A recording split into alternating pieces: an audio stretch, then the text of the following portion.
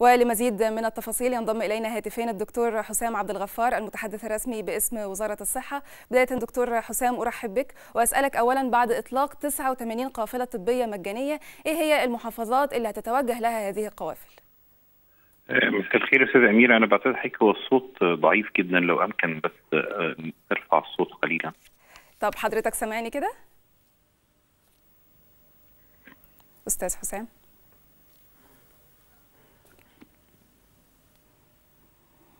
دكتور حسام حضرتك سامعني؟ سامع حضرتك بصعوبة الحقيقة لو أمكن رفع الصوت طب أنا هعيد على حضرتك السؤال تاني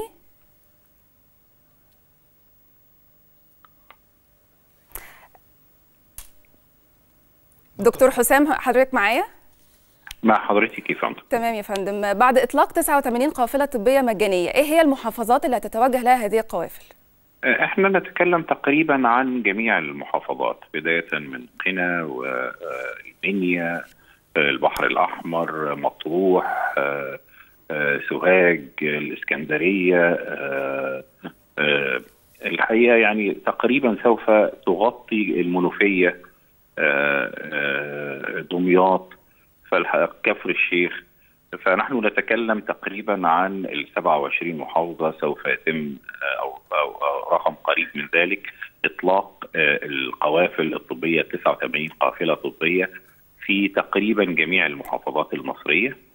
القوافل دي تضم تخصصات الباطنة والاطفال والأنف والأذن والحنجرة والعظام والجراحة والرمد وحتى الأسنان بالإضافة إلى وحدات متنقلة للأشعة والتحاليل مع وجود الصيدلات المتنقلة لتوفير كافة الأدوية المطلوبة.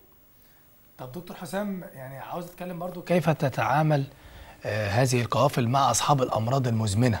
أكيد طبعا وأنت ماشي في كل التخصصات في أمراض مزمنة هتتعاملوا مع هذا النوع إزاي؟ يعني أنا الحقيقة بالكاد أسمع الصوت فقط. بقول لحضرتك يعني أكيد وحضرتك وأنتم ماشيين في كل محافظات مصر هيبقى في أصحاب أمراض مزمنة. كيف تتعامل القوافل مع هذا النوع بالتحديد؟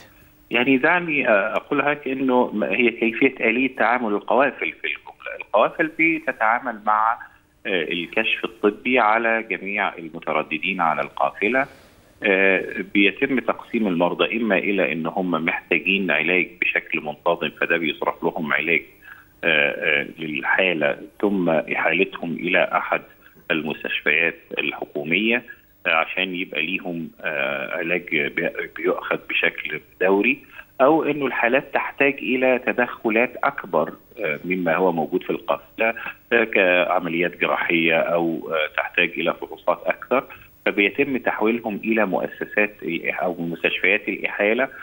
إحنا كل القوافل بيبقى ليها مستشفيات بيتم التنسيق معها لتكون هي دي مستشفى الإحالة. لإجراء التدخل الجراحي أو لاجراء فحوصات أكثر تعمقا في حل احتياج. ففي حسب مكان القافلة بتبقى مرتبط بها مستشفى أو اثنين من المستشفيات المملوكة للدولة أو التابعة للدولة سواء كانت مستشفيات وزارة الصحة والسكان أو المستشفيات الجامعية لتحويل الحالات التي تحتاج إلى تدخلات أكثر أو أكبر من ما يمكن تقديمه من خلال القوافل. دكتور حسام في ظل طبعا انتشار أزمة كورونا وحرص الدولة على سرعة تطعيم المواطنين هل ستقوم هذه القوافل بتطعيم من لم يتلقوا اللقاح؟ لا هي الحقيقة القوافل دي مخصصة لتقديم الخدمة العلاجية والكشف لكن إحنا مش محتاجين قوافل لتقديم اللقاح لأنه أماكن تقديم اللقاح سواء المتنقلة أو الثابتة هي منتشرة في كل المحافظات.